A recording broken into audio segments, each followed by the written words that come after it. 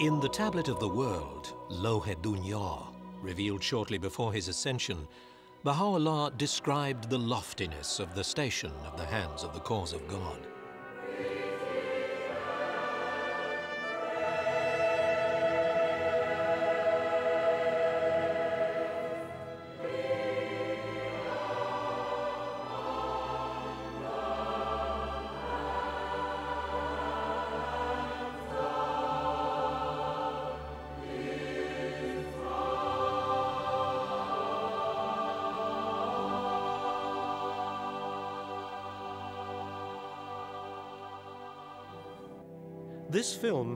Is about these God-intoxicated heroes and heroines of the Baha'i faith, each of whom was elevated to the rank of Hand of the Cause, either during their lifetimes or on their passing, by Baha'u'llah, Abdul Baha, or by Shoghi Effendi. Committed to the principles and teachings of Baha'u'llah, these valiant souls expended all their energies towards the advancement and protection of his cause, while maintaining a life free from fanaticism and dogma. They associated with people in friendship and harmony and pursued their careers. Yet their entire lives were energized by the single purpose of serving their Lord and diffusing his divine fragrances to everyone they encountered. This film is also about the hands as a body an institution with accomplishments unprecedented in the annals of religious history.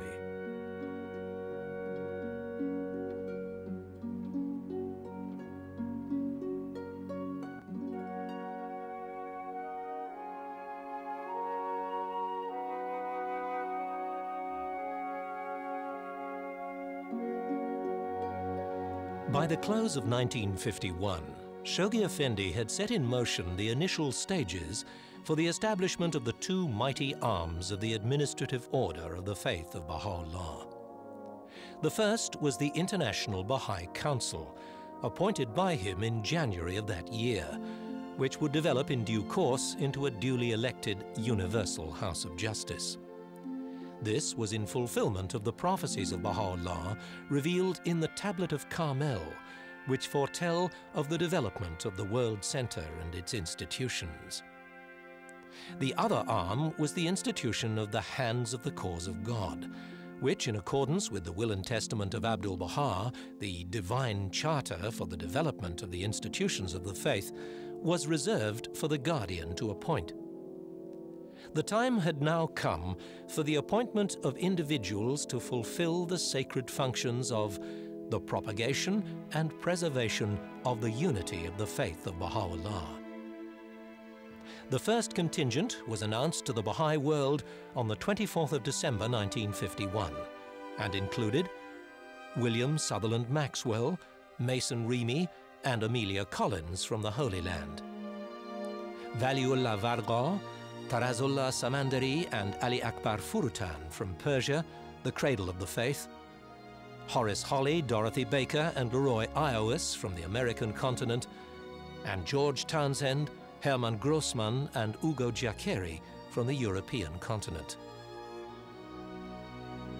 The second contingent of hands was announced by the beloved guardian to the Baha'i world only some two months later, on the 29th of February 1952, via this cablegram which brought the total number of hands to 19. Siegfried Schopflocher from Canada, Corinne True from the United States, Zekrullah Khadem and Shoaullah Alai from Persia, Adelbert Mühlschlegel from Germany, Musa Banani from Africa, and Clara Dunn from Australia.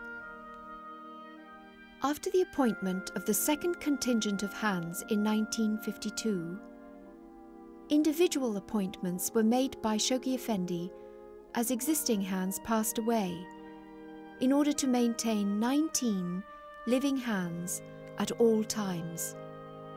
Thus, after the passing of Sutherland Maxwell, his daughter Amatul Baha Ruhiyyih Khanum was appointed.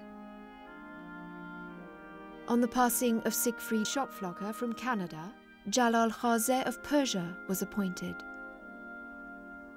On the passing of Dorothy Baker, Paul Haney from the United States was appointed. On the passing of Waliullah Varqa, his eldest son, Ali Mohammed Varqa, was appointed. And on the passing of George Townshend, Agnes Alexander from Japan was appointed. The last contingent of living hands, comprising eight individuals, was announced just a month before the passing of Shoghi Effendi, bringing the total number of living hands to a figure of 3 times 9, 27. From this moment, the hands were entitled Chief Stewards of Baha'u'llah's Embryonic World Commonwealth. The full list of hands now included Enoch Olinga, William Sears, and John Robarts from Africa, Hassan Balyuzi and John Ferraby from the British Isles, Collis Featherstone and Rahmatullah Muhajir from the Pacific area, and Abul Qasim Faizi from the Arabian Peninsula. In this part, we focus on the activities of the Hands as an institution, following the appointment of the first two contingents. At the bidding of Shoghi Effendi, the Hands began attending the four intercontinental conferences in Africa, America, Europe, and Asia, associated with the observance of the Holy Year in 1953 and the launch of the Guardian's 10-year globe encircling crusade. This was a time of joy and jubilation as Baha'is from around the world gathered at the Intercontinental Conferences in Kampala, Chicago, Stockholm and New Delhi to celebrate these twin events and focus on the teaching work ahead. Many of the hands of the cause can be identified in films from those historic gatherings, making reference to the goals of the 10-year crusade. In Kampala, the hands were individually acknowledged. They include Hand of the Cause Tarazullah Samandari, Dorothy Baker, Musa Banani, Waliullah Varqa,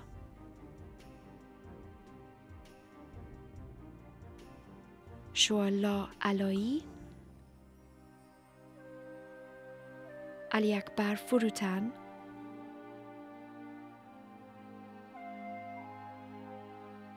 Leroy Ioas,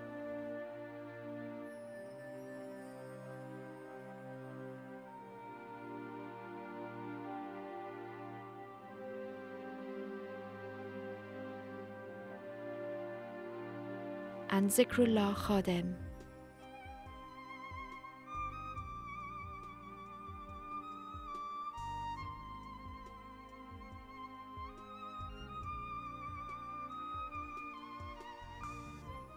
Hands attending the Intercontinental Conference of Chicago can be seen against the background of the map of the 10 year Global Crusade. Hands gathered at the third of the Intercontinental Conferences held in Stockholm are seen here followed by the banquet, attended by all the friends. And last but not least, the memorable conference held in Delhi was attended by many friends and hands of the cause of God.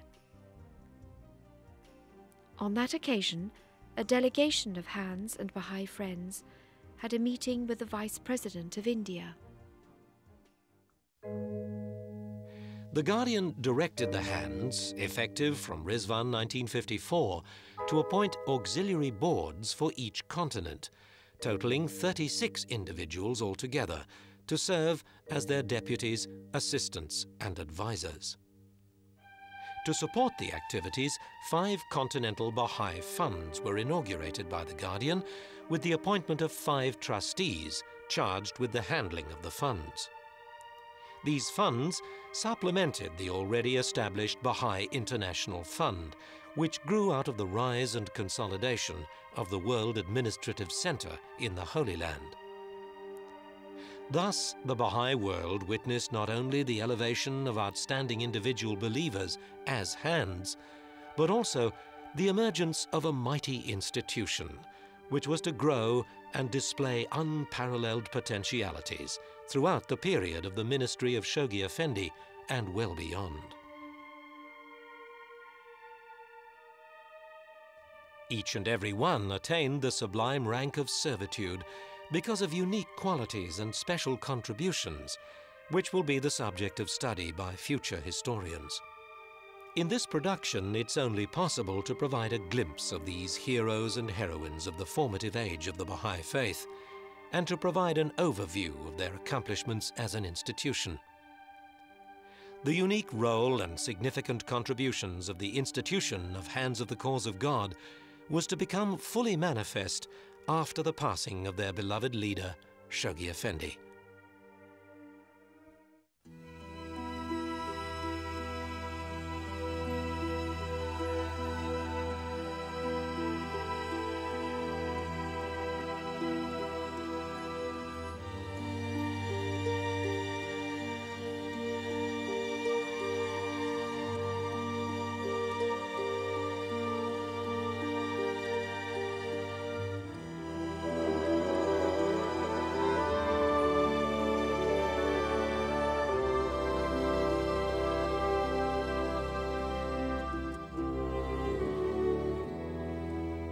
On the 4th of November 1957, Shoghi Effendi, the beloved guardian of the Baha'i faith, passed away in London.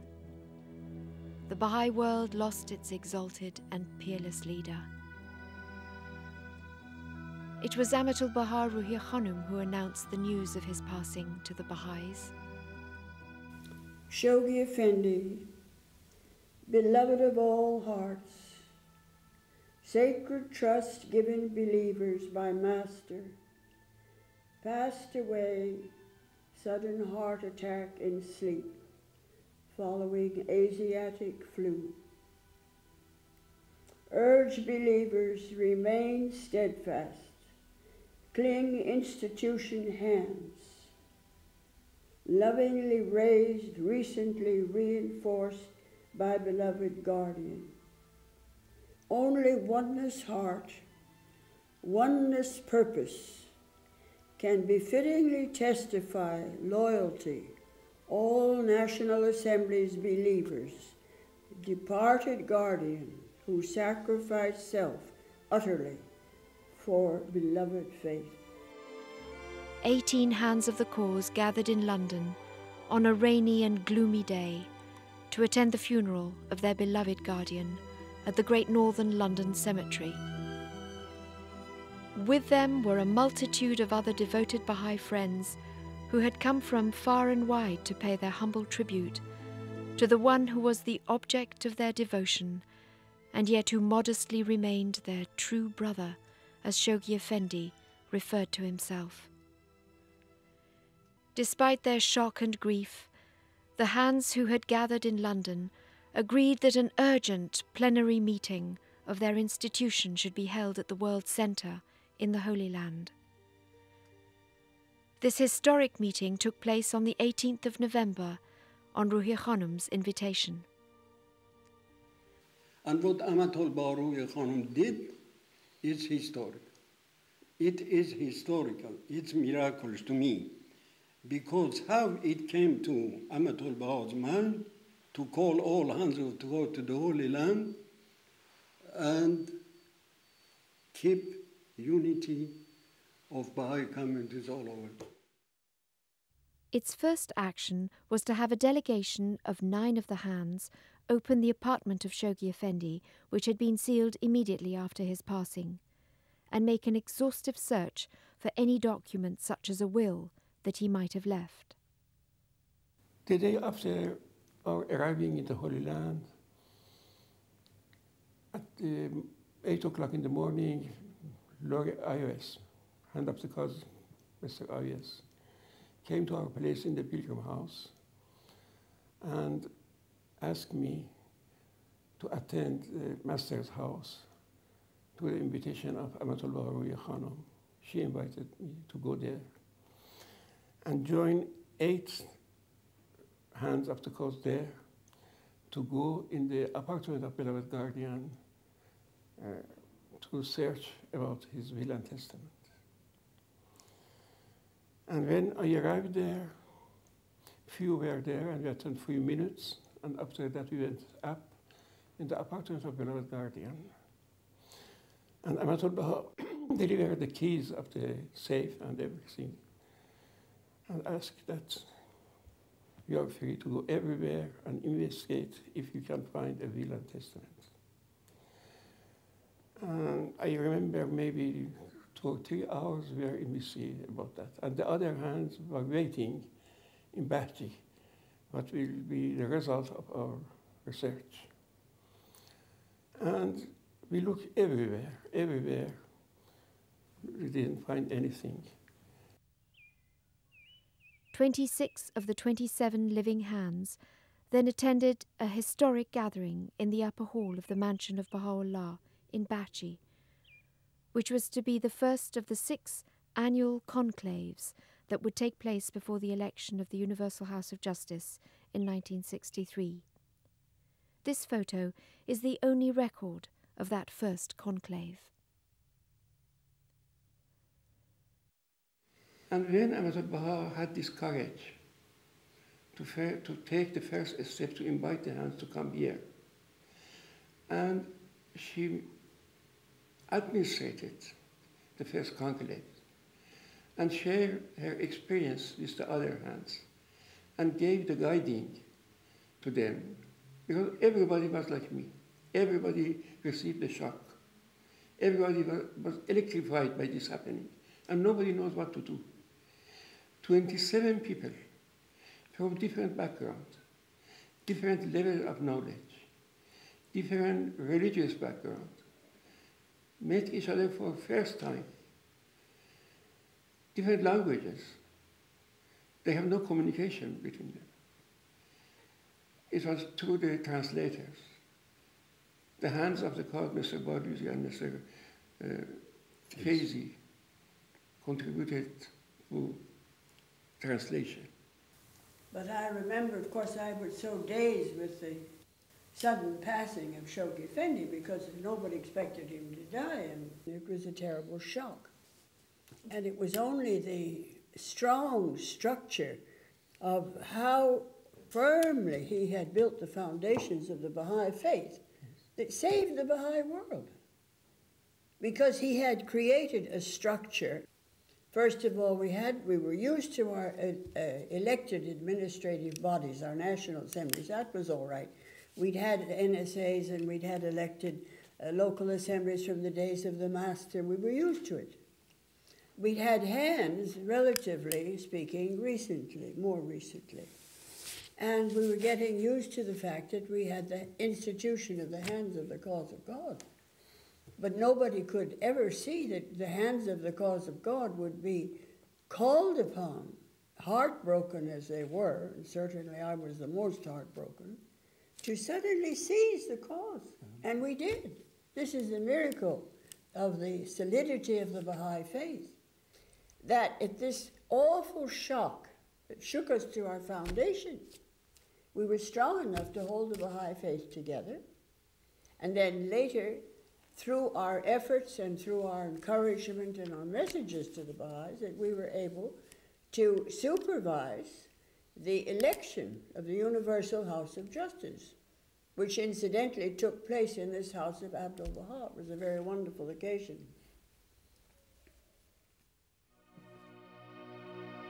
The unanimous proclamation from this first conclave addressed to the Baha'is of the East and West stated the first effect of the realization that no successor to Shoghi Effendi could have been appointed by him was to plunge the hands of the cause into the very abyss of despair.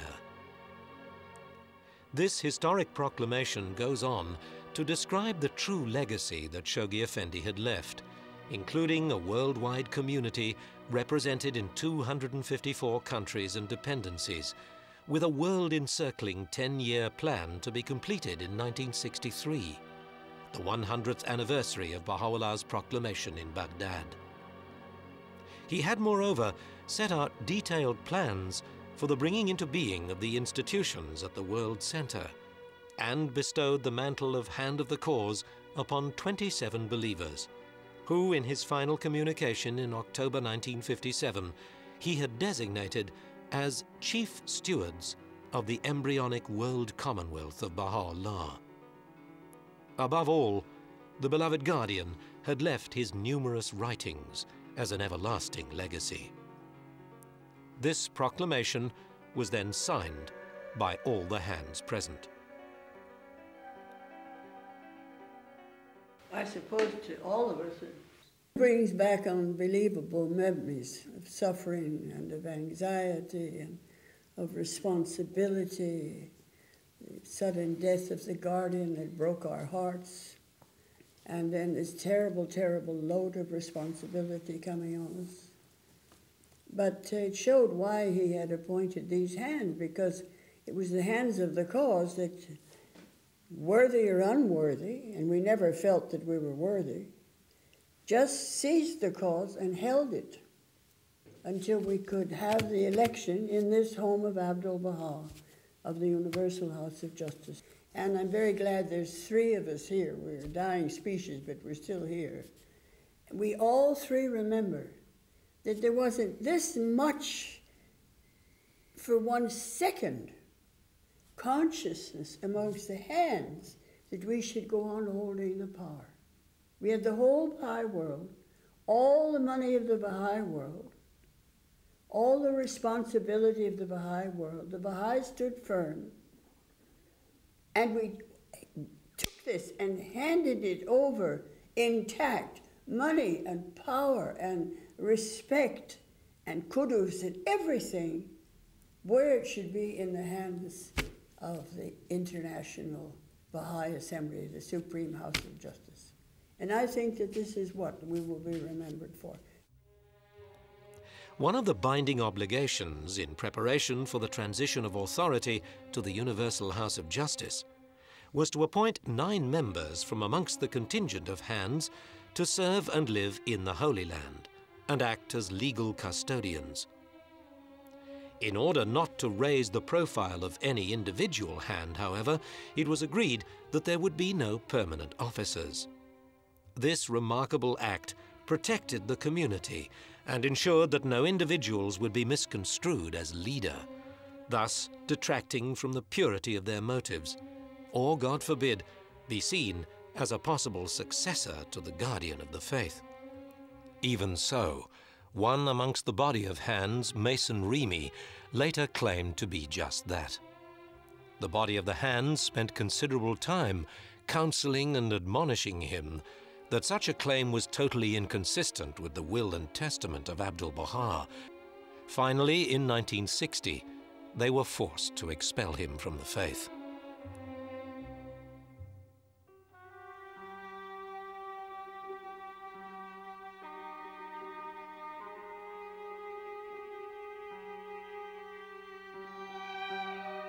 Here, the hands assembled at the second annual conclave in 1958 are seen as they leave one of the many sessions.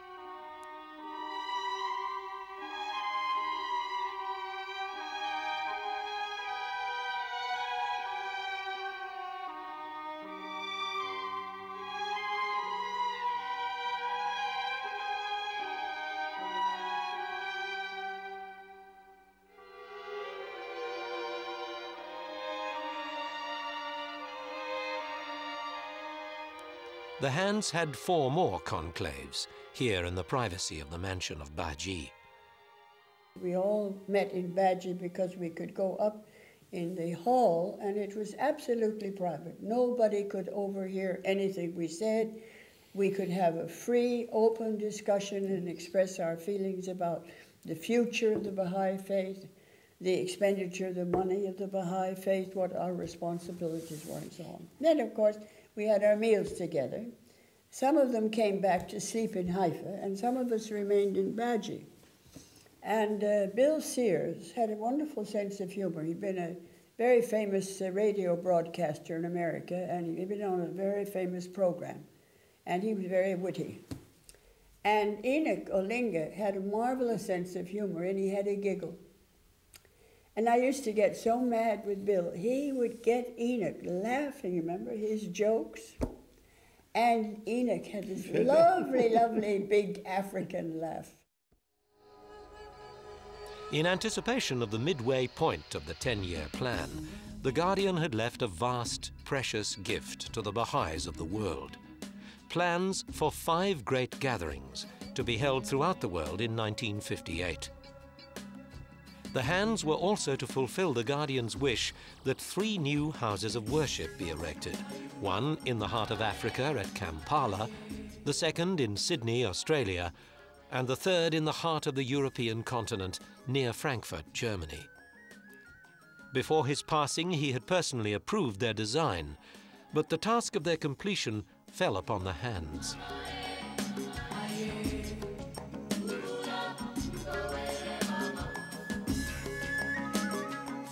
Hands of the cause, Amatul Baha, Ruhiyyih Khanum, and Enoch Olinga, are seen at the groundbreaking ceremony in Kampala in 1958. And a few years later, in 1961, Amatul Baha arrived for the dedication of the House of Worship of Africa, and then, accompanied by Mr. Ali Nakhjavani, went to the hall. Other hands present included Mr. Sears, Mr. Samandari, Mr. Banani, Mr. Olinga, Mr. Robarts, and Dr. Mohajir.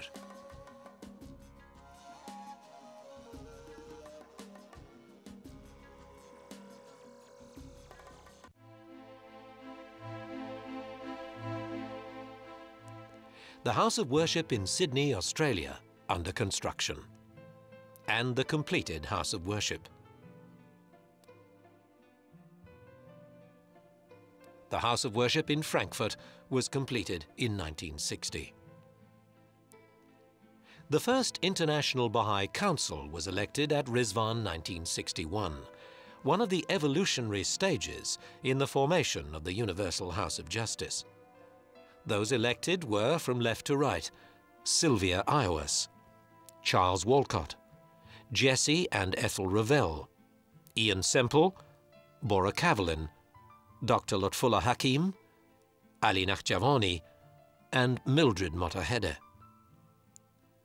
In preparation for the election of the Universal House of Justice, the Hands wrote to all national assemblies, providing them with the necessary instructions for completing their ballots. And as a final act of complete self-abnegation, while not wishing to limit the freedom of the electors, they requested that the hands be left free to discharge their duties and responsibilities. On April the 21st, 1963, delegates from national assemblies met in the Master's House at number 7 Persian Street. They came from all corners of the globe and were gathered here at the invitation of the Hands of the Cause. This befitting venue saw the election of the supreme body of the Baha'i faith, guided by the Blessed Beauty Baha'u'llah. The Hands oversaw the proceedings and prepared the balloting for the nine members of the first Universal House of Justice. When um, we were thinking about the election of the Universal House of Justice, and Mr. Semple, who is now a member of the House of Justice, was having dinner with me here. And uh, we were talking about how to arrange the election. And I was very, very anxious that we should have it in the home of Abdul Baha. I said, this is really where the Universal House of Justice should be elected, is here, this home of Abdul Baha.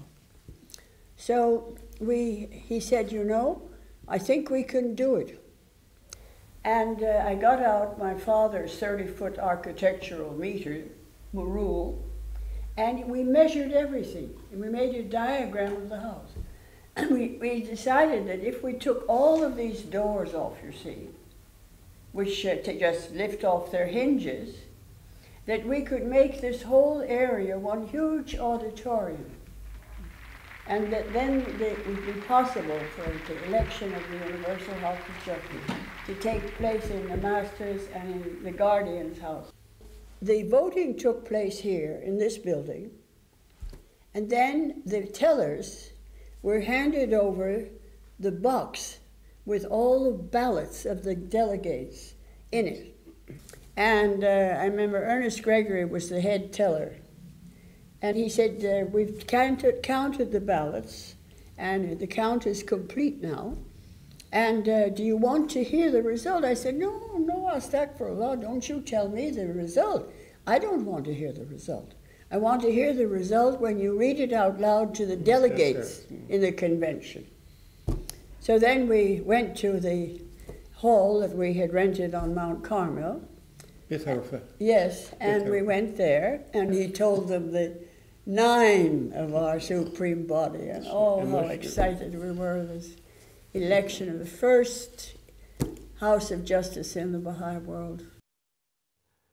The waiting crowd of the hands and delegates in the auditorium. As the members took their place on the platform.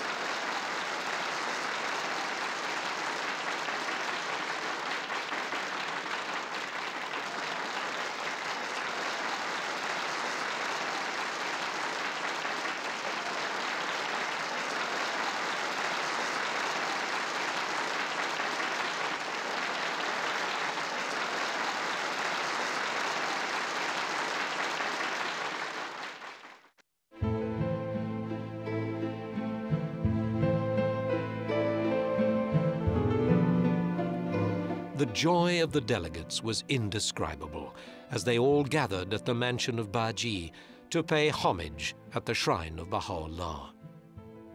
They also assembled at the entrance of the archives building for group photos. I remember Mr. Banani's chuckle. He was so full of fun. He had such a lovely sense of humor. He was so warm and so was Faizi. You remember, Baha'u'llah told his followers when they were in the prison uh, of Akka, and he went in and told them, Don't laugh so loud, they will think we are crazy. and these hands were so happy, the House of Justice was so happy. It was such a joyous occasion, you see the election of the supreme body, that there was a great deal of joy on everybody's part. That's what I shall always associate with it.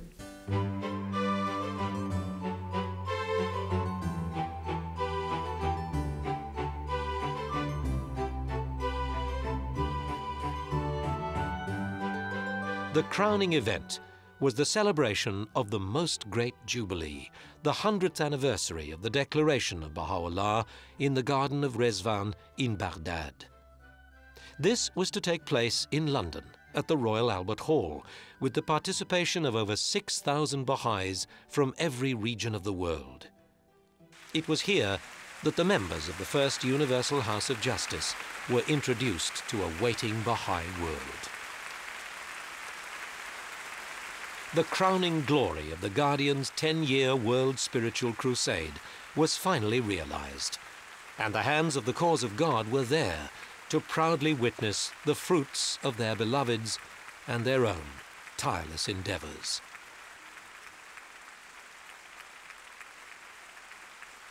A tribute to the hands, paid by the House of Justice, was conveyed at the World Congress. The entire history of religion shows no comparable record of such self discipline, such absolute loyalty, and such complete self abnegation by the leaders of a religion finding themselves so suddenly deprived of their divinely inspired guide. The debt of gratitude which mankind, for generations, nay, ages to come, owes to this handful of grief stricken, steadfast, heroic souls is beyond estimation. Immediately following the World Congress, the Universal House of Justice held its meetings here, and a historic decision taken was to have no officers. The Hands, who had similarly decided not to have permanent officers, devised at their last conclave a future nine-year plan to commence at Rizwan 1964 and end at Rizwan 1973. This projected nine-year plan was then submitted to the Universal House of Justice for its consideration. Among the three major tasks of the nine year plan adopted by the Universal House of Justice was the development of the institution of the Hands of the Cause of God, with a view to the extension of its functions into the future. Midway through the plan, the Universal House of Justice announced the establishment of 11 continental boards of councillors for protection and propagation of the faith. Their duties included directing the auxiliary boards in their respective areas, consulting and collaborating with national spiritual assemblies, and keeping the hands of the cause and the Universal House of Justice informed of the condition of the cause in their areas. Thus, the hands of the cause were free to operate on an intercontinental level, to undertake special missions on behalf of the House of Justice and to assist in the formation of the International Teaching Centre in the Holy Land, as had been anticipated in the Guardian's writings. A five year term of office was later established for the councillors, and their numbers were increased significantly. The historic announcement of the formation of the International Teaching Centre was made to the Baha'i world in 1973 all hands of the cause, wherever they resided, were members of this institution and were to participate fully in its deliberations whenever they were present in the Holy Land. The teaching centre, which was composed of the nucleus of hands residing in the Holy Land, included Amatul Baha Ruhiyyih Khanum, Abul Qasim Faizi, Ali Akbar Furutan, Paul Haney, and three councillors appointed to this body, Hooper Dunbar, Florence Mayberry, and Aziz Yazdi. When the International Teaching Centre was inaugurated, 17 Hands of the Cause were still living. They are shown here with the members of the House of Justice in 1973. As the appointment of Hands of the Cause was reserved only for the Guardian, after the passing of these heroic souls, there would be no further hands but their dual function of propagation and protection would continue into the future through the International Teaching Centre and the Continental Boards of Councillors, appointed by the Universal House of Justice.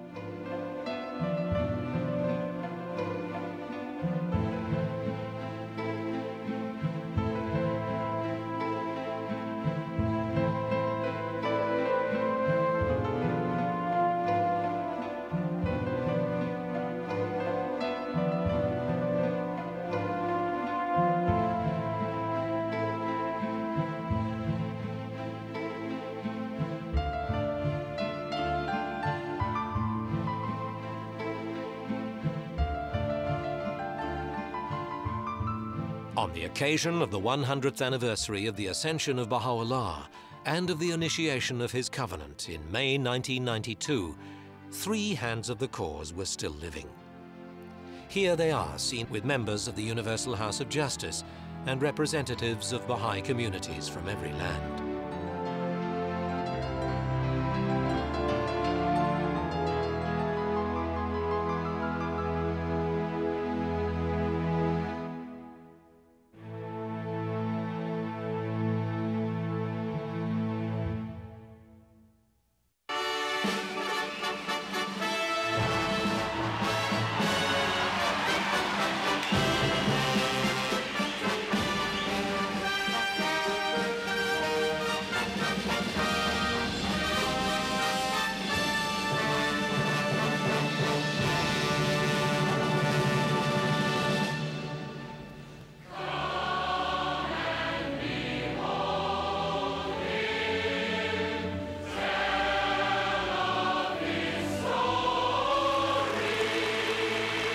In November of that same year, the Hands joined some 30,000 fellow Baha'is from all corners of the world for the Second World Congress.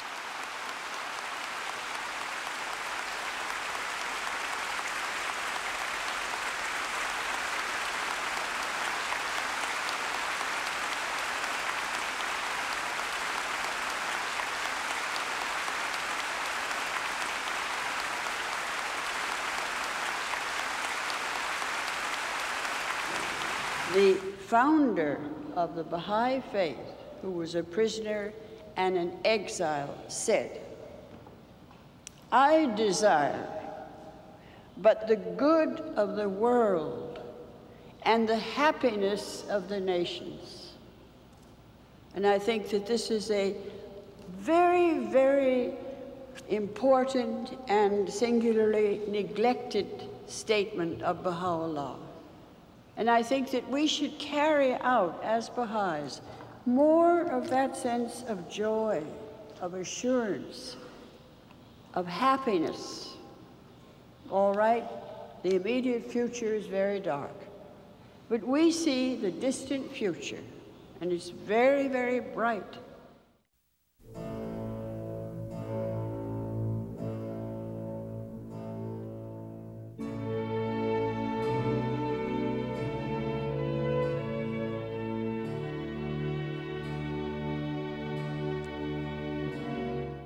At the beginning of the year 2000, the Baha'i world lost its first lady, hand of the cause Amatul Baha Ruhiyyih Khanum, the last remaining link with the family of the master Abdul Baha.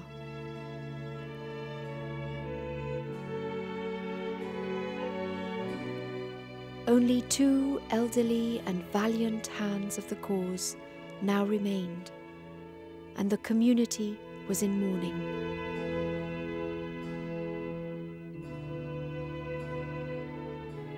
Posterity alone can adequately pay homage to her services and the historic role that she played in the aftermath of the passing of Shoghi Effendi.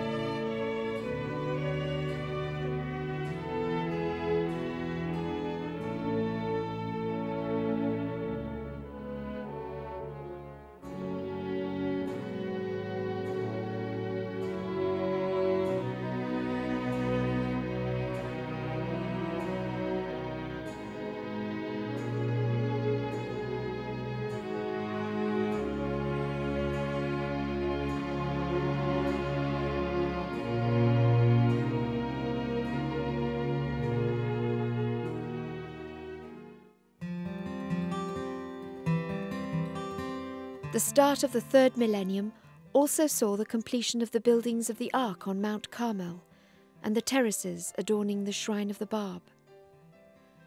The Centre for the Study of the Texts and the extension of the Archives building were followed by the completion of the International Teaching Centre.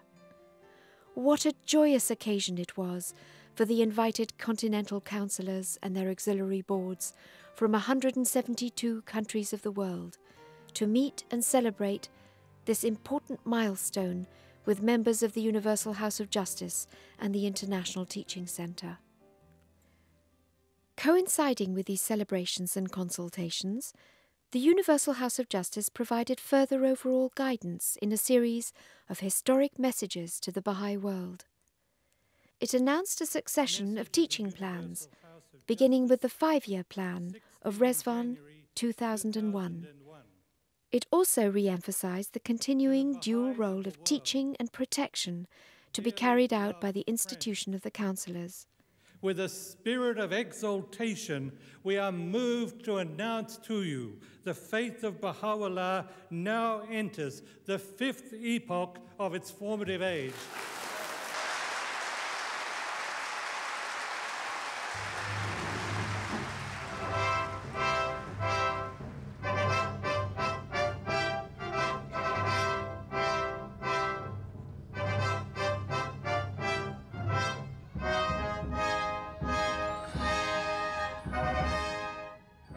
Magnificent celebrations of the completion of the terraces adorning Mount Carmel took place in May 2001 in the presence of the last two remaining hands of the cause, remnants of the precious gift left to us by Shoghi Effendi. They and thousands of others, representing every national Baha'i community in the world, were in awe of the magnificence and beauty surrounding the Shrine of the Bab, as the oratorio of the Tablet of Carmel, put to music and performed by world class musicians immersed them in spiritual joy.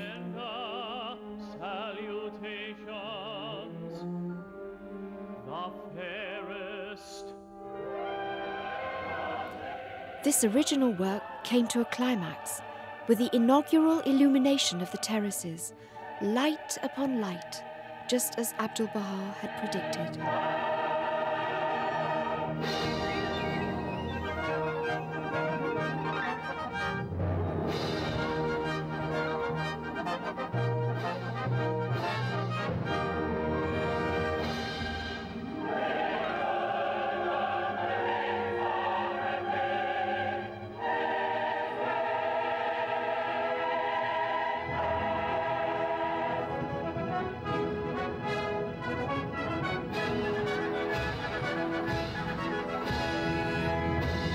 This was in honor of the beloved Bab who had suffered the darkness of the mountain prison of Mah-Ku in Persia and had later undergone martyrdom.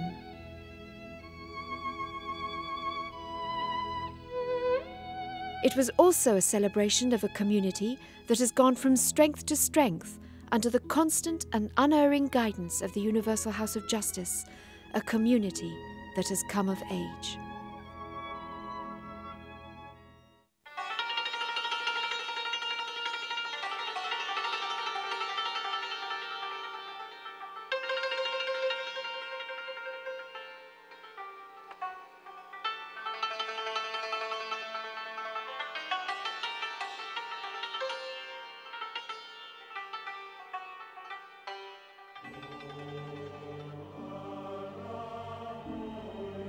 It was in the Siyah-Chal, the black pit of Tehran, that these verses were intoned by the rows of prisoners who accompanied Baha'u'llah.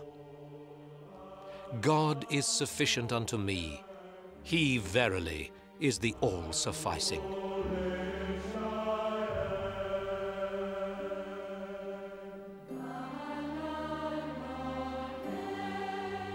In response, another row would reply, In him let the trusting trust.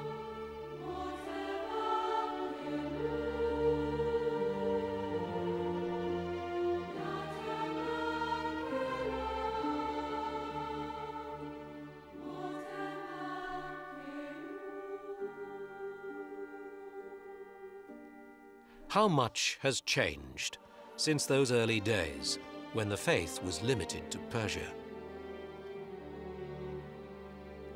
Despite continuing persecutions over the years, the faith has continued to evolve, breaking its bounds in fulfillment of the prophetic words of Baha'u'llah.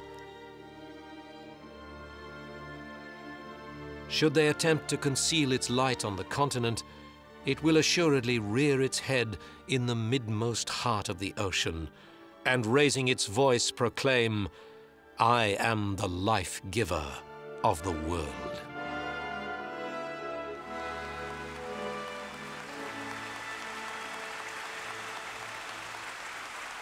With the passing of these last remaining precious souls, this unique institution of the hands of the cause of God becomes a part of history and our common heritage.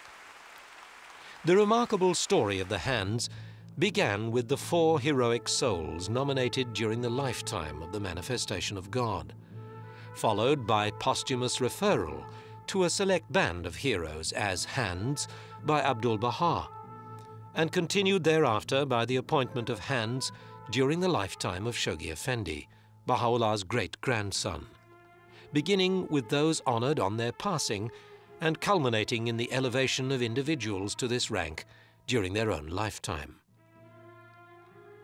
Never before have a select band of heroes and heroines been so intimately involved with the progress of their religion, so actively served at the vanguard of its development, and so selflessly devoted to the service of their Lord.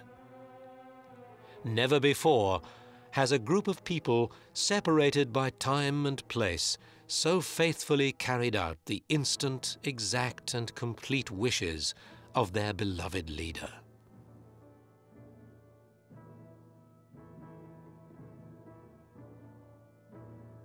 They have obeyed the calling to diffuse the divine fragrances during their lifetimes and set such glorious examples on their passing that generations to come will study their lives, analyze their contributions, and emulate their valiant examples. Ours is to pay homage to them and emulate their examples of self sacrifice, devotion, and service to humanity. And remember the words of the Master, Abdul Baha. I desire distinction for you, but this distinction must not depend upon wealth, not scientific, commercial, industrial distinction. For you, I desire spiritual distinction. You must become distinguished for loving humanity, for unity and accord, for love and justice.